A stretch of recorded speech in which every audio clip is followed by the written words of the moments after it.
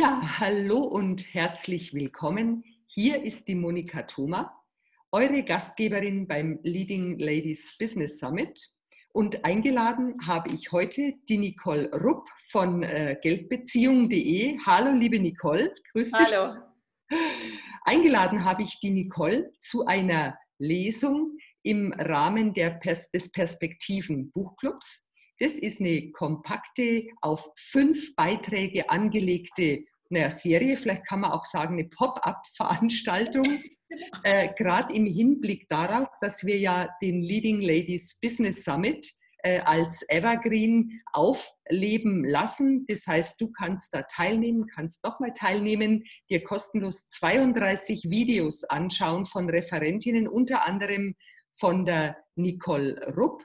Und ähm, wir, glaube ich, Nicole, haben ja schon eine lange Tradition oder sind ja schon, erstmal haben wir eine lange Tradition, wo wir uns kennen. Ich habe neulich mal nachgeschaut, das ist 1996, haben jetzt uns zum ersten Mal getroffen. Ja, ja, es ist gar, fast gar nicht wahr, bei der Monika Schedin vom ja. äh, Women's Business Club in München. Äh, wir haben aber auch schon einige Video-Interviews miteinander gemacht, unter anderem beim Leading Ladies Business Summit. Damit äh, damals ging es darum, was Sichtbarkeit mit Geldbeziehungen oder umgekehrt zu tun hat.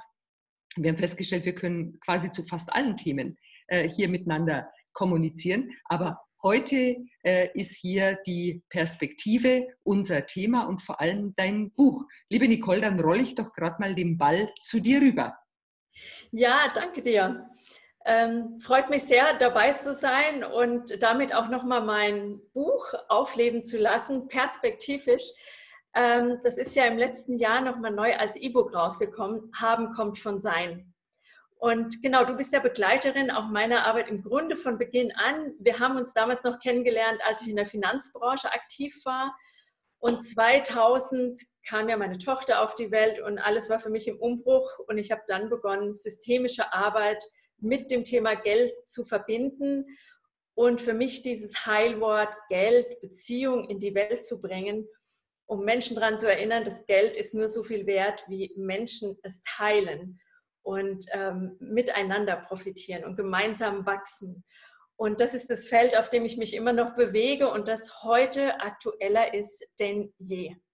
Denn du hast meine Arbeit sehr früh verstanden und auch geschätzt, aber die meisten haben mich ja angeguckt, wie wenn ich vom anderen Stern bin. Äh, was hat denn jetzt Geld mit Wertschätzung zu tun oder warum ist Geld ein Spiegel zu uns und ähm, eben all diese Themen, warum brauchen wir finanzielle Heilung, äh, regionale Kreisläufe, können wir uns nicht leisten, wir brauchen es billiger und Ausland. Und ich finde, jetzt zeigt sich aktuell, ähm, dass wir nichts mehr brauchen als eben diese Wertschätzung für uns, für unsere Natur, für das Miteinander, die sich am Geld zeigt und nicht umgekehrt. Mhm, mh, mh. Ja, du sagst es, aktueller denn je. Für mich war das vollkommen klar von Anfang an, dass Geld mit Wertschätzung zu tun hat. Und ähm, ich fand es auch wahnsinnig interessant, mit welcher Überzeugung du von Anfang an, du warst dir ja sicher, du hast dich ja komplett abgekoppelt von dem, was andere über dich gesagt haben und bist jetzt sozusagen über die Jahre ja dorthin gekommen oder du, die Welt ist dorthin gekommen, wo du immer schon warst, sozusagen. So ähm, kann man das sehen. Also es waren wirklich auch harte Jahre dabei, ja. weil obwohl ich im Grunde sehr, sehr viel mitbringe, weiß ich meine, ich habe das Fach studiert, ich war in der Finanzbranche, äh, ich habe ganz viele Referenzen, Medienbeiträge. Also ich bringe alles mit, um ernst genommen zu werden und trotzdem war das immer noch so ein hm und hm und ist es zu esoterisch und brauchen wir Glück im Geld oder Liebe im Geld? Liebe und Geld geht ja eh gerne zusammen. Und ich glaube einfach, es geht um Weiblichkeit im Geld. Und wir haben da ein Patriarchat geschaffen, äh, wo der Finanzmarkt immer noch zu über 90 Prozent von Männern dominiert ist. Und ich liebe Männer, ich habe da nichts dagegen, aber es braucht einfach ein gesundes Gleichgewicht. Und jetzt erleben wir ja auch, was exponentielles Wachstum bedeutet. Und von daher ist es auch passend, wenn wir wachsen, wieder wie in der Natur, stabil, stabil, stabil. Das machen wir beide ja auch. Ne? Wir sind auch durch viel dick und dünn in der letzten äh, in den letzten Jahrzehnten durchgegangen und trotzdem geht es darum, das wieder zu verinnerlichen, zu wachsen und dann zu wissen, wichtig ist doch, dass am Ende die Ernte da ist, von der ganz viele profitieren und die dann auch erhalten bleibt. und nicht nur dieses lineare Wachstum, nicht nur dieses Ziel umsetzen haben, noch mehr haben, noch mehr Geld, sich dem Geld unterordnen. Und das ist eben so die Sklavenschaft, also meine persönliche Befreiung quasi. Ähm, der Wandel zur erfüllten Geldbeziehung war für mich die Befreiung von diesem Rennen und Drehen um das Geld, wie in der Finanzbranche, die ich nach wie vor toll finde. Ähm, aber hin zu wirklich erster Mensch, ähm, und dann ähm, das Geld und dann erst die Dinge, die wir uns davon kaufen können. Und wir haben das falsch gelebt bisher an vielen Stellen oder die Menschen, die es falsch gelebt haben, die merken es jetzt. Ja, plötzlich sind die Reisen, mit denen man immer geprahlt hat, nichts mehr wert oder es geht nicht. Und wir werden ganz hart mit uns und unserem Sein konfrontiert. Und die Menschen, die da schon sehr an sich gearbeitet haben, auch auf emotionaler Ebene, die profitieren jetzt am stärksten, weil äh, man sich dann nicht so schnell umhauen lässt. Und wenn man sich gerade umhauen lässt, das sage ich gerne auch gleich dazu, und jetzt in dieser Angst ist, weil die auch sehr präsent ist und da auch äh, das Kollektiv ganz stark wirkt, dann ist es eben wichtig, ähm, nicht davon wegzulaufen, sondern wirklich jetzt zu lernen, sich selbst auszuhalten und alles, was hochkommt, ich sage ja immer so ein bisschen wie in der Waschmaschine, das wirklich zu begreifen, das sind alles Erlebnisse, Erfahrungen, äh, negative Gefühle, die wir hochkommen, reinwaschen dürfen, um dann auch freier zu werden. Mhm. Dann können wir auch wirklich entspannt durch diese, wie vielleicht auch noch viele andere Krisen hindurch, wachsen. Mhm. Und auch in normalen Zeiten glücklich sein. Ne? Absolut, das wird der wahre Gewinn. Absolut. Äh, Im Marketing haben wir es ja gar nicht so gerne, wenn man eine Innovation hat, wenn man Erfinder ist, wenn man neu vorne dran ist. Wir haben gerade geschildert, was das für Folgen hat, dass man sich auch ja. durchsetzen muss. Aber wenn man dann soweit ist, ist man eben auch der Erste vorne dran. Ähm, was einem dabei gut hilft, ist ein Buch. Wie würdest du denn sagen, oder, oder ich frage dich mal, ja. wie bist du auf die Idee gekommen, ein Buch zu schreiben? Hast du das mit dem Verlag zusammen gemacht? Äh, ja, wie, wie ist es dir so ergangen mit deinem Buch? Ja, witzigerweise, eigentlich hatte das eine Astrologin vorausgesagt, dass ich ein Buch schreibe. Da wusste ich noch gar nicht, äh, wie komme ich zum Buch und was habe ich zu sagen.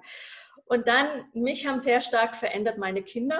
Und nach der zweiten Geburt war irgendwie auch klar, jetzt will ich ganz aussteigen. Und ich hatte wirklich so Gedankenschübe. Ne? Also da kam wirklich diese billige Werbung ins Haus und ich dachte, Mensch, das Leben ist so wertvoll, warum muss alles immer billiger werden? Für mich war das ein ganz großes Leid. Ich fand das ganz schlimm, wie so die Welt überspült wird mit Konsum und brauchst du dies noch und das noch. Und ich war so auf meiner Wolke und dachte, wieso brauchen wir das alles? Und da sind so ähm, diese Kapitel entstanden, die auch alle ganz kurz sind. Und es war ursprünglich, ich habe mir das einfach nur von der Seele geschrieben. Ähm, und also ich, ich, erwähne einfach mal so ein paar Kapitel. Ne? Also es mhm. fängt an mit einer Frage des Glaubens, der Wert des Geldes, der Traum vom billigen Leben oder halt eben auch ein Traum, der in einem Albtraum enden kann. Ähm, warum billig teuer ist, der Einzelhandel vereinzelt, äh, nostalgische Gedanken an sichere Arbeitsplätze. Also im Nachhinein ist es ein sehr visionäres Buch, weil vieles der ersten Teile genauso eingetroffen ist. Und ich dachte, ich biete das als Artikel an Magazine an. Und dann hatte ich aber keine Kontakte, dann fanden es die ersten nicht so gut.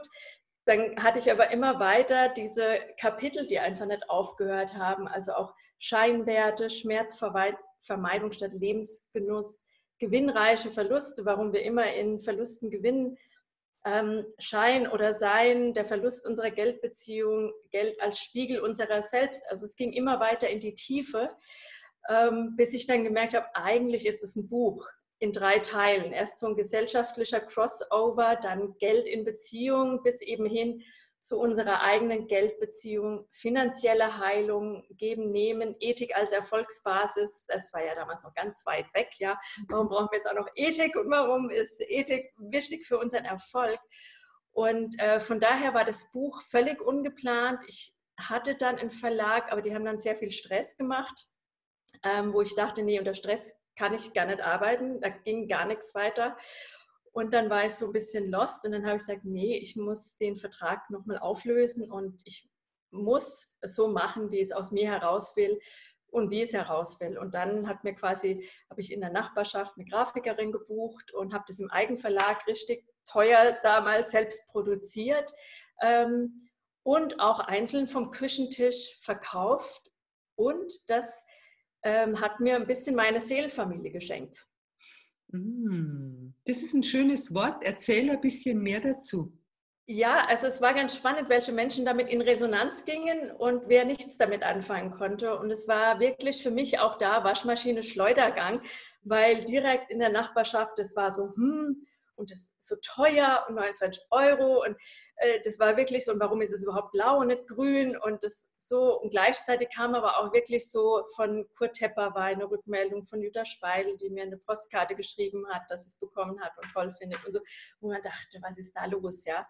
Und ähm, ganz viele haben es einfach gekauft, weiter verschenkt. Es ging ja nur per E-Mail bei mir zu bestellen. Also es sind auch Freundschaften dadurch gewachsen oder entstanden, weil Menschen sich in der S-Bahn mit dem Buch erkannt haben. Ja?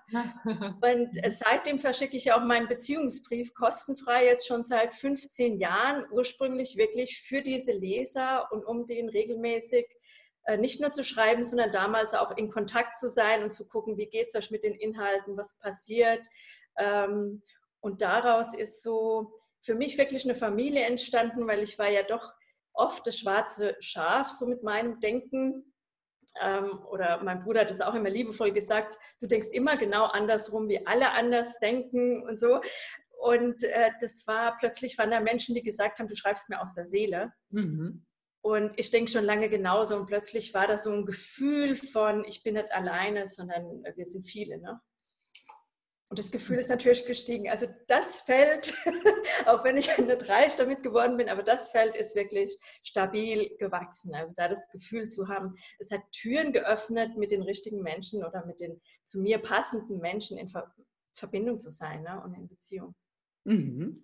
Ja, dann äh, ja, lass uns doch mal einen Blick gemeinsam in das Buch werfen, beziehungsweise äh, darf ich da einfach auch wiederum diesen Ball zurollen dass du vielleicht mal anfängst, aus dem Buch was vorzulesen. Ja, gerne. Also ich habe äh, hab das so gemacht. Ich bin ja ein sehr intuitiver Mensch, obwohl ich mich gerne rational mit Geld beschäftige. Ähm, und ich habe einfach gedacht, oh je, eine Lesung jetzt im Internet vorbereiten, wie fange ich da an, äh, wie scanne ich? Und ich habe einfach mal aufgeschlagen und habe jetzt so äh, drei Passagen quasi gefunden oder der Reihe nach aufgeschlagen, die jetzt komplett richtig oder falsch sein können. Äh, mhm. so wie sie da sind. Genau, und das ist zum Beispiel aus dem Kapitel Wollen und Haben. Ähm, und das ist wichtig, weil in der Transformation sind wir ja auch im Moment. Wir können nur in dem Maße Erfüllung aus materiellen Dingen beziehen, indem wir zu erfüllten Gefühlen in der Lage sind. Ein schönes Haus als solches macht sie nicht zwangsläufig glücklicher. Erst dadurch, dass sie aufrichtig sich daran erfreuen und sich darin wohlfühlen, können sie diese Gefühle auch in Verbindung mit dem Haus erleben. Wir füllen also die Materie, die uns umgibt, mit unserem Leben. Materieller Besitz als solches ist unlebendig und kann uns nicht mit lebendigen Gefühlen bereichern. Ähm, genau, ich kann noch ein kleines Stück lesen. Materie vermag uns allenfalls mit dem in Kontakt zu bringen, was sie ist. Das kann in Form von Geld oder Besitz auch sehr kalt, starr und leblos sein. So fühlen sich viele Menschen trotz materiellem Überfluss nicht überglücklich und reich. Wenn ihnen der Kontakt zu ihrem eigenen inneren Reichtum und ihrem freudvollen Erleben daran fehlt, dann bleibt nur die Leere der Materie. Reich sind sie, wenn sie das in ihrem Leben haben, was ihr Herz berührt.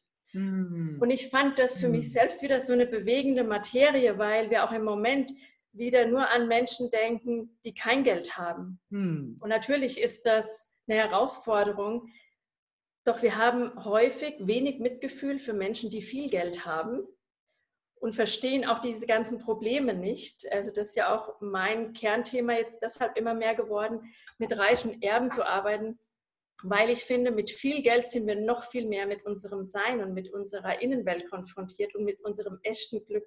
Wenn wir mal erlebt haben, wenn man sich alles kaufen kann, ist man nicht unendlich glücklicher, sondern dann geht es auch wieder um die Fragen, wer bin ich, was passt zu mir, was macht mich wirklich glücklich, wofür bin ich da äh, und was mache ich mit diesem Geld so, dass auch das einen Sinn hat. Und das ist ja so der Kern bei mir beim Geld. Also es geht ganz einfach darum, dass unser Denken mit dem Fühlen und mit dem Handeln konform geht. Mhm. Und ich beobachte immer wieder, da wo der Mensch nicht so handelt, passieren so Krisen. Im Grunde auch wie das, was wir heute auch haben, ja. Also auch diese ganzen Verpflichtungen mit dem Ausland und vieles hätten wir uns schon lange sparen können, aus meiner Sicht auch müssen, äh, weil es unsinnig ist, eine Laufhose äh, beim Rest der Welt zu kaufen, nur weil es scheinbar günstiger ist, obwohl wir die auch in Deutschland produzieren und kaufen können. Und dann mhm. kostet sie eben das, was unser Leben hier kostet. Aber das Leben ist nun mal wertvoll. Und wie wir feststellen. Das soll man nicht machen. Ja. Immer ähm, Handy ausschalten. Ja, genau. Aber ich wiederhole gerne nochmal, das Leben ist wertvoll und deshalb auch viel zu kostbar, um immer nur den Blick auf dieses Billig zu haben, mit all den hohen Kosten, die dranhängen. Und es ist eben wichtig, sich mit Lebensglück zu beschäftigen. Ich sage ja auch immer, wir bauen heute das emotionale Wachstum, was nach dem Krieg so das wirtschaftliche Wachstum war. Mhm. Wir dürfen deshalb auch lernen, dass nicht nur ein Auto teuer sein darf, sondern auch ein Coaching oder eine Beratung. Also all diese Leistungen, die wir nicht als Status hinterher vor uns hertragen oder zeigen können. Mhm. Und trotzdem ist es eine wertvolle Investition für unser Glück, für unser geistiges, seelisches Gesundsein und wie ich finde eben auch für die Wirkung unseres Geldes überall in der Welt, weil das setzt Bewusstheit und Wertschätzung voraus und nicht nur, ich gebe es irgendwo ab und hoffe, dass es gut geht oder äh, ich muss sowieso gucken, wie ich überhaupt klarkomme. Über alles andere komme ich nicht hinaus nachzudenken. Wenn man in der Situation ist, ist es wichtig, genau darüber hinaus zu denken und nicht in alten äh, ja, Mustern zu bleiben oder Gewohnheiten. Gewohnheiten. Absolut. Ja, also ähm, ich denke mal so in schweren Zeiten ist es ja so, dass äh, nicht jedes Business leidet. Absolut. Es werden viele Geschäfte leiden. Also so nach dem, was ich mit meinen Kollegen in den Staaten diskutiere, so ja. dass es vielleicht 40 Prozent, 20 Prozent ne, wird es eng.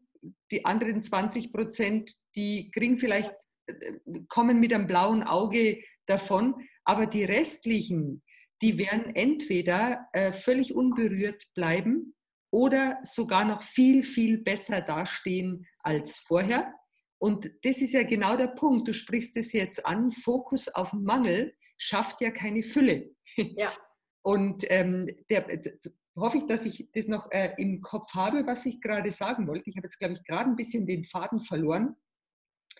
Ähm, wichtig, ja, eben auch ich kann den Faden weiterführen. Ja, lass, lass mich gerade noch sagen, ich habe ihn wieder. Also wichtig ist, dass man äh, an der Stelle, mei.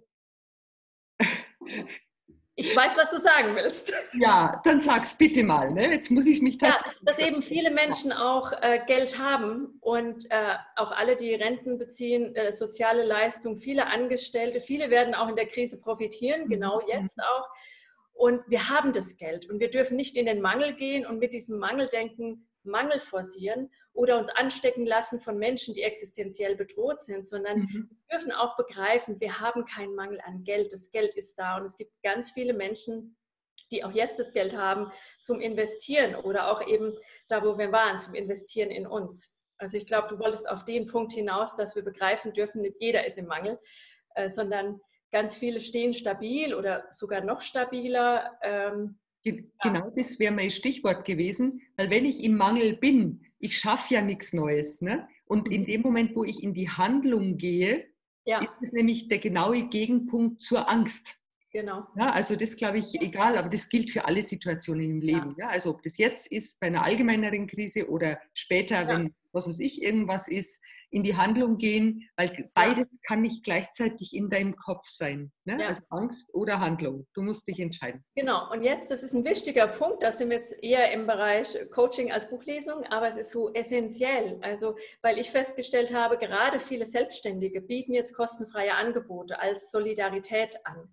Und ich finde es nett, aber ich finde es auch sehr schmerzhaft. A, ist es häufig so, muss man aufpassen, ein weibliches Prinzip, wir sind nur gut, wenn wir nett und unterstützend sind. Und es ist auch wichtig zu unterstützen, wo Unterstützung wirklich gebraucht wird, aber auch da solide und souverän zu sein, wo man aufpassen muss. Viele Selbstständige geben jetzt Leistung umsonst für Menschen, die selbst noch ein Gehalt bekommen, ja, denen es also besser geht am Ende dieses Monats. Von daher läuft da auch viel Hilfe so, wo ich denke, das ist für mich nicht Solidarität. Solidarität oder eine gesunde Geldbeziehung würde sich für mich jetzt daran zeigen, dass alle, die noch großzügig sein können, großzügig sind, dass alle, die finanziell atmen können, jetzt atmen. Viele können ja nirgends Geld ausgeben im Moment. Die haben ihr Gehalt, ihre Rente, ihre Leistung, ihr Erbe, ihr irgendwas und können nirgends ins Kino, ins Konzert. Also da gibt es keinen Geldmangel. Wir haben keinen Mangel auf diesem Planeten. Wir haben nur das Problem, dass wir schon lange, lange Zeit haben, eine sehr ungleiche Verteilung. Und wir sollten jetzt gut darauf achten, dass jeder auch auf sich achtet, der auf sich achten muss. Und mhm. dass jeder großzügig ist, der großzügig sein kann. Und dass auch Menschen, das biete ich ja auch an. Ich habe so eine kleine Geld-Glücksrevolution ähm, laufen bis, naja, wir schauen wie lange. Mhm. Ähm, und dass man da auch sich eingeladen fühlen darf, wenn man wirklich erkennt, im Moment kann ich es nicht zahlen, im Moment ist aber die Leistung schon für mich wichtig und dann kann man zeitversetzt zahlen oder auch mal was annehmen. Also ich bin immer dafür, dass man auch lernt anzunehmen, wenn man es braucht. Also auch wir Frauen versuchen ja auch oft stark zu sein, ja, und uns zusammenzureißen und verpassen dann wieder Hilfe zu holen. Und es ist einfach ähm, wichtig, Hilfe zu holen, wenn man sie braucht, auch aktiv darum zu bitten, die dann auch anzunehmen, aber auch zu sagen, äh, ich biete eine Leistung gegen Geld, mhm. weil das ist das, äh, was gerade angesagt ist und vor allem der Wert ist ja da, ja. Also die Leistung soll ja wertvoll sein und ich finde, da muss man Krise hin oder her immer aufpassen. Wird eine Leistung so geschätzt, wenn sie umsonst ist und auch so genutzt? Oder ist es dann nicht wieder so eine Form von Konsumieren und, und Berieseln und man freut sich, dass tausend Leute da schauen und zuhören und dann wieder auf Ausklicken und so weiter machen wie bisher? Und ich liebe es halt immer, wenn jemand was reingibt und weiß, er verpflichtet sich damit jetzt, das für ihn Beste daraus zu machen. Und ich stelle fest, dass wirklich viele Euros, die Menschen mir gezahlt haben im Laufe der Jahre, für mich gefühlt noch viel wertvoller als deren Investition sind, weil es eine Investition in ein dauerhaftes Wachstum ist. Also das, was in uns mhm. gewachsen ist und gedreht ist, das ist da. Das Vertrauen, was ein Mensch ähm, erschafft, wie ein Baum stabil zu stehen, das, das, das fällt nicht um. Ja? Wenn wir wie so ein Mast gewachsen sind oder nur in die Höhe geschossen sind, dann wird es schwierig, wenn der Wind kommt oder der Sturm. Aber alles, was wir in uns angelegt haben, ich finde, das ist ein, ich, ich erkenne sowieso jetzt erst in dieser Zeit den Wert meiner Arbeit bis dahin war ich ja auch oft ein bisschen frustriert, mache ich was falsch, weil ich nicht die Million mache, ja, und dann vergleicht man sich auch da äh, mit vielen Gurus und Vorturnern und denkt, mache ich das verkehrt? Und irgendwie denke ich mir, nee, ich habe es einfach, ich mache es, I did it my way. Und da war ich sehr konsequent und im Grunde habe ich auch ein, aktuell äh, ähm, bin ich sehr dankbar, weil ich eine Entscheidung getroffen habe gegen sehr, sehr viel Geld die aber jetzt in dieser Krise genau die richtige wäre, sonst könnte ich jetzt auch äh, Großveranstaltungen der Reihe nach absagen. Und äh, ich habe sie, um für mich den entschleunigten Weg einfach noch ein bisschen weiter zu gehen, gar nicht erst, äh, bin da erst nicht draufgesprungen. Ähm, und bin da auch ganz froh drum, wo ich denke, es ist witzig. Manchmal versteht man Entscheidungen, die man nicht rational erklären kann, einfach erst hinterher. So ist es, absolut. Genau. Ähm, ja, vielleicht schauen wir noch mal in dein Buch rein, ja, dass du noch vielleicht ein paar, ja, ich denke, wir verlassen ja das Thema nicht, ne? wir beleuchten ja die gleichen beleuchten. von verschiedenen Seiten. Genau. Ähm, wie machen wir weiter? Ich habe hier noch. Ähm, vielleicht schlagst du auch einfach mal dein Buch auf und liest den Absatz, der sich zeigen will. Genau, also das habe ich jetzt gemacht. Ich hatte im Kopf finanzielle Heilung noch zu lesen, aber jetzt habe ich aufgeschlagen, Geld als Spiegel unserer selbst. Mhm. Sehr schön. Die Menge Sehr des schön. Geldes in ihrem Leben und die Erfüllung, die es mit sich bringt, hat weniger mit Geld an sich zu tun als mit ihnen selbst. Und das finde ich auch ein wichtiges Thema einfach. Am Geld zeigt sich, wer sie sind. Wenn sie ein generell großzügiger Mensch sind, dann können sie das schwer auf materielle Ebene unterbinden. Wenn sie finanziell geizen, fällt es ihnen auch schwer, verschwenderisch mit Gefühlen umzugehen. Ähm, da hake ich mal ein. weil es ein spannendes Phänomen ist und weil sich daran zeigt, wie sehr wir das Geld sind und wie sehr wir eigentlich unser Sein über unser Geld ausdrücken und wie wichtig das ist, eben emotional aufgeräumt zu sein und mehr in die Großzügigkeiten, in die Größe zu gehen. A, weil sowieso alles zurückkommt und B, weil es der Beweis unseres Vertrauens ist. Und ähm, dieses finanziell Geizen, dass das auch Menschen sind, die oft mit Komplimenten und so geizen. Ich hatte mal einen Kunden, der hat das Buch gelesen, der hat mich eine ganze Woche eingeladen äh, mit Familie äh, auf seine Finca, weil er gesagt hat, es war für ihn so eine bahnbrechende Erkenntnis beim Lesen meines Buches. Er wusste immer, er hat mit manchen Kunden, kann er nicht. Er weiß nur nicht warum und plötzlich hat er beim Lesen gemerkt, er kann mit geizigen Menschen nicht. Das sind dann so die Grandler, die Krumpler. Wenn irgendwas schief geht, ist dann immer gleich äh, großes Kino. Und die Menschen, die so ein bisschen freudvoll ähm, sind und großzügig, mit denen läuft es auch in der Krise, dass man dann ganz anders miteinander spricht und dass man auch offener redet. Genau. Ja, dann ähm, auch wie sie sich über Geld äußern, hat nur mit ihnen selbst zu tun und nichts mit der Materie Geld. Spontan sind viele Menschen geneigt zu sagen, dass sie keine Beziehung zu Geld haben. Doch tatsächlich hat jeder Mensch seine ganz eigene Beziehung zu Geld. Wir kommen nicht umhin, durch das Mittel Geld unser Leben zu organisieren, unsere Existenz zu sichern und dadurch mit Geld in Beziehung zu sein. Keine Beziehung zu Geld zu haben heißt, noch keine Beziehung zu einer ganz wesentlichen Bezugsquelle in sich zu haben. Das kann eine Begabung oder Leidenschaft sein, die bis jetzt noch nicht zur Entfaltung gekommen ist. Das Erschließen dieser Quelle wäre nicht nur ein großer Zugewinn an persönlicher Erfüllung und emotionalem Reichtum, sondern auch eine gewinnbringende Geldquelle. Genau. Also ähm. das heißt, das Geld ist eine, ja, ein, ein Medium, das so äh, signalisiert, wie gut ich im Flow bin. Mit mir, mit meinem Leben. Kann man das so ja, sagen? Absolut. Also ähm, und eben auch diese, dieses, damit will ich nichts zu tun haben. Das ist aus meiner Erfahrung in den Coachings immer ein Hinweis gewesen. Es gibt etwas. Äh, man sagt ja oft, da wo die größten Ängste liegen, liegen die größten Talente. Ich habe das so beobachtet, da wo die größten Ängste liegen, liegen auch oft die größten Verletzungen. Mm. Und dann hat man zum Beispiel im Musikunterricht gehört, du kannst nicht singen und dann hört man auf zu singen und denkt, damit will ich nichts mehr zu tun haben, weil der Schmerz so groß ist. Und es wäre so wertvoll, dahin zu gehen, wo der Schmerz ist, denn da können echte Chancen liegen. Und das würde ja im Moment auch gelten. Ne? Und ähm, ja, also von daher kann man sehr viel über sich lernen. Auch die Menschen, die mit, damit so gar nichts zu tun haben wollen, die so einen Ekel erleben, habe ich eben ganz oft die Erfahrung gemacht, da liegt auch Missbrauch in irgendeiner Form vor.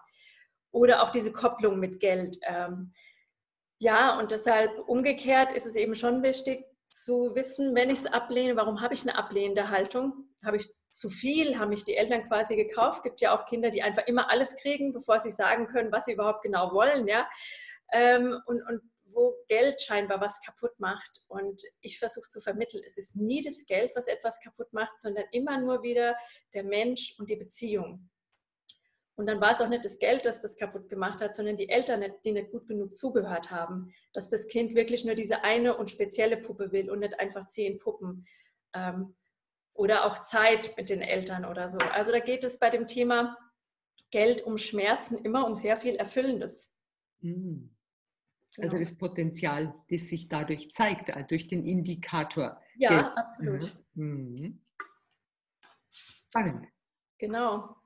Ähm, ich weiß nicht, wie sind wir in der Zeit? Soll ich noch. Ähm, also ein Kapitel, ein Kapitel. Diskussion solltest du uns noch denken. Aufgeschlagen. Warum das Geld in die Liebe muss, ist ja klar. Liebe ist jetzt ganz besonders eh wichtig äh, in Zeiten von Angst und auch kollektiven Ängsten. Also das ist schon mal sowieso wichtig. Jetzt habe ich hier aufgeschlagen, Ethik als Erfolgsbasis. Ethisches und menschliches Verhalten ist die Voraussetzung für fühlbaren inneren Reichtum und stabiles finanzielles Wachstum. Und ich finde den Gedanken so wertvoll und wir dürfen das auch begreifen, es muss zusammenhängen. Es nützt uns nichts, finanziell reich zu sein oder uns selbst ein Schnippchen zu schlagen, indem wir schneller reich werden, sondern es geht darum, innerlich reich zu sein und finanziell stabil zu wachsen. Und jetzt haben wir die Gelegenheit, durch dieses Reset und durch dieses wirklich bei uns zu Hause zu sein und uns zu konfrontieren, auch wirklich nochmal Dinge neu zu überdenken. Ne? Was ist mein innerer Reichtum? Was macht mich wirklich fühlbar glücklich und reich? Was brauche ich für mein Glück? Und vielleicht auch wirklich vieles zu relativieren.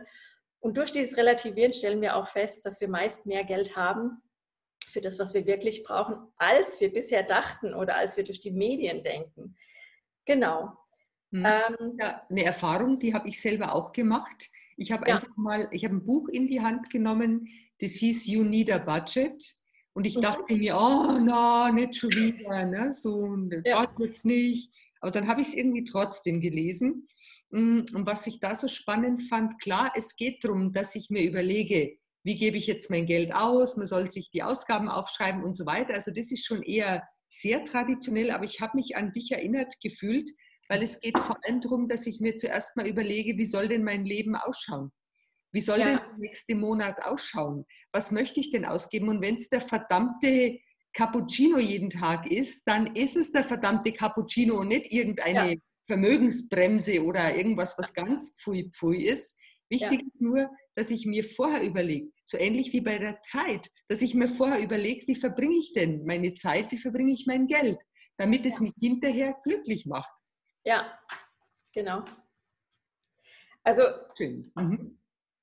wir haben große Chancen und es ist wirklich wertvoll, jetzt unsere Beziehung zu Geld, also da geht es ja immer für mich um ganzheitliche Gesundheit. Ne? Hm. Also zu dieser ganzheitlichen Gesundheit gehört eben immer aus der Angst rauszugehen, ins Vertrauen rein, gut vorzusorgen, so wie wir das im Moment ja auch alle tun. Und ähm, ja, aber einfach mehr dem Herzen zu folgen. Also ist ja meine These, folge dir und Geld äh, folgt dir. Ähm, und das ist mein Abschlusszitat, das lese ich einfach auch gleich noch durch. Mhm, ja. Alle Schnipsel.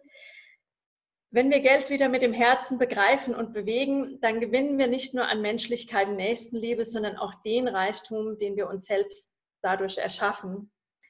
Und äh, das stand da eben schon 2006. Und ich finde, mhm. jetzt leben wir in einer Zeit, wo man merkt, es gibt Hilfsbereitschaft, wir helfen, wir müssen wirklich aufpassen auf diesen Punkt des Geldes, dass wir auch da heilen und nicht nur alle geben und geben oder aus schlechtem Gewissen irgendwas tun, sondern dass wir wirklich jetzt eine Solidarität aufbauen. Wie können wir da Hilfe geben, wo sie wirklich gebraucht ist, so wie das ja auch bei der Gesundheit eine Rolle spielt oder auch ähm, ja, Menschen dazu helfen und eben auch großherziger zu werden. Und insofern, äh, vor 15 Jahren war das alles noch wahnsinnig kitschig, so ein bisschen mädchenhaft und so ein bisschen, oh, jetzt auch noch die Liebe und das Glück ins Geld bringen. Und schwupps haben wir 2020, numerologisch ja eh das Jahr mit der 4 am Ende, Herzchakra-Öffnung.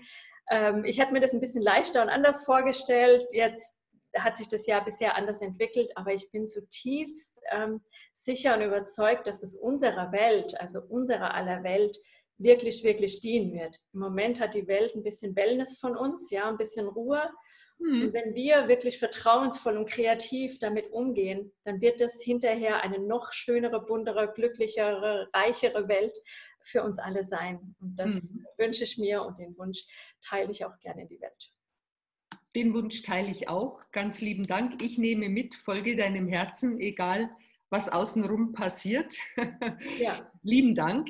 Äh, Nicole, die, den Link zu deinem Buch, den packe ich in die Kommentare, packe ich ja. drunter. Äh, wir laden auch ausdrücklich dazu ein, wenn Fragen, Anmerkungen, Anregungen sind, bitte in die Kommentare posten, ja. gerne die Nicole taggen, äh, mich taggen und äh, dann kommen wir früher oder später auf diesen Kommentar, auf diese Frage oder Anmerkung zurück. Das Sehr gerne. Von meiner Seite, von Nicole, deiner Seite, gell, jetzt für heute.